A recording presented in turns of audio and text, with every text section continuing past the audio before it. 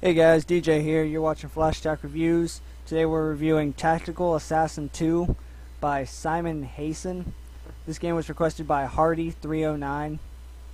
So some of this game is you play as an assassin. You have to take out specific targets.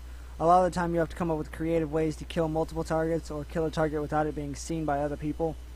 After each mission you get money depending on how well you did the mission and how many times you failed the mission. You then use the money to buy different guns, ammo, and attachments for each gun. This game has a total of 9 missions to play through. We give sound a 3. The music is alright even if it's just a loop. It fits pretty well. And the gun sounds sound good, like you'd expect, guns.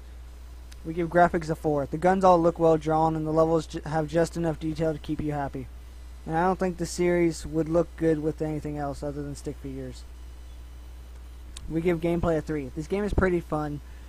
You won't get bored playing through it, but not something you're going to want to play through several times because you'll know exactly how to win. We give challenge a 3. This game is actually pretty easy. It just takes a little trial and error. But your second time through, you're going to know exactly how to beat each level, so it won't be quite as hard. We give time a 2. This game is pretty short with only 9 missions and each mission only taking 10 to 20 seconds each. So it'll end up keeping you occupied for a short time. The only thing I would change is to make the game a little longer. So, we here at Flashstack Reviews give this game a 60%. Thanks for watching. Don't forget to subscribe.